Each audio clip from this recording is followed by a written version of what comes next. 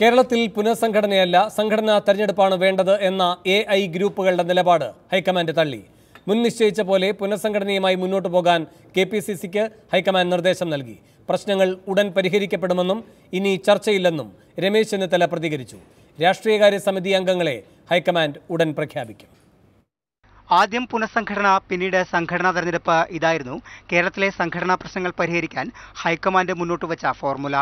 എന്നാൽ P C C അധ്യക്ഷനെ മാറ്റാതെയുള്ള പുനഃസംഘടനയല്ല സംഘടനാ തെരഞ്ഞെടുപ്പ് വേണമെന്ന നിലപാടുമായി എ ഐ ഗ്രൂപ്പുകൾ രംഗത്തെത്തി.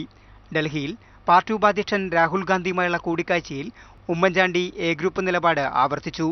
പുനഃസംഘടന കൊണ്ട് കാര്യമായ നേട്ടമുണ്ടാകില്ലെന്നും സംഘടനാ തെരഞ്ഞെടുപ്പ് നടത്താൻ പ്രായോഗിക ബുദ്ധിമുട്ടുകളില്ലെന്നും ഉമ്മൻചാണ്ടി വാദിച്ചു. രാഹുൽ ഗാന്ധിയെ കണ്ട രമേശ് ചെന്നിത്തല ഐ ഗ്രൂപ്പ് നിലപാട് മയപ്പെടുത്തി അവതരിപ്പിച്ചു.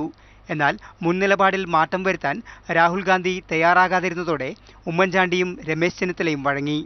കേരളത്തിലെ സംഘടനാ പ്രശ്നങ്ങൾ ഉടൻ പരിഹരിക്കപ്പെടുമെന്നും ഇനി ചർച്ചയില്ലെന്നും രമേശ് ചെന്നിത്തല പ്രതികരിച്ചു.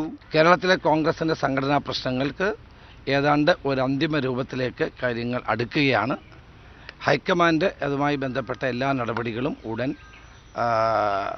മുന്നോട്ട് കൊണ്ടുപോകും. രാഷ്ട്രീയകാര്യ സമിതിയിലേക്കുള്ള സാധ്യതാ പട്ടികയും നേതാക്കൾ രാഹുൽ ഗാന്ധിക്ക് കൈമാറി. എം പിമാർക്കും മുതിർന്ന നേതാക്കൾക്കും പ്രാമുഖ്യമുള്ള സമിതിയെ ഹൈക്കമാൻഡ് ഉടൻ പ്രഖ്യാപിക്കും. ഹൈക്കമാൻഡിന്റെ കർശന നിലപാടിന് മുന്നിൽ ഗ്രൂപ്പുകൾ വീണ്ടും മുട്ടുമടക്കി.